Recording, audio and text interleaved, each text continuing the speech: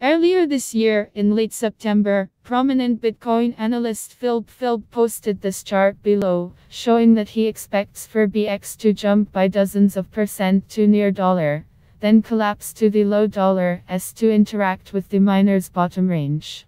While some laughed this off as pure bearish sentiment at the time, the forecast turned out to be effectively 100% accurate, with Bitcoin surging past dollar in a temporary relief rally then crashing the mid-dollar, as just last month.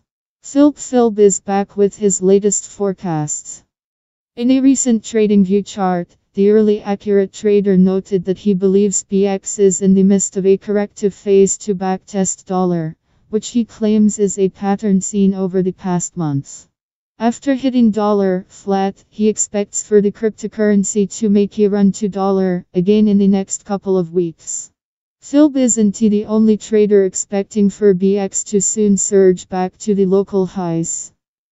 Per previous reports from Ethereum World News, market commentator Jonny Moe on Saturday published two charts showing reasons why BX could soon bound towards the high dollar S. Since last week, Bitcoin has been trading in a clear falling wedge pattern, marked by increasing lower prices and tightening price action.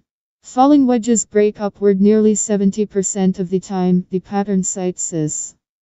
There are two bullish divergences forming between Bitcoin's price and the stochastic RSI and MAC, suggesting that the price of the cryptocurrency could soon recorrect higher.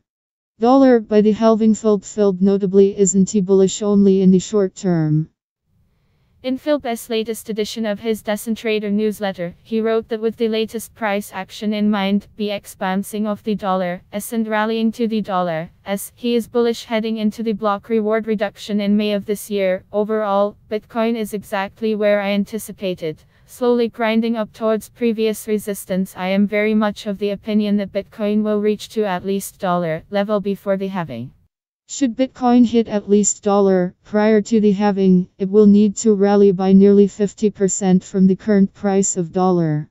As to why dollar makes sense, he noted that that is the top target for a bullish inverse head and shoulders chart that is form. You can read full post on CryptoFans. News, link available in text below.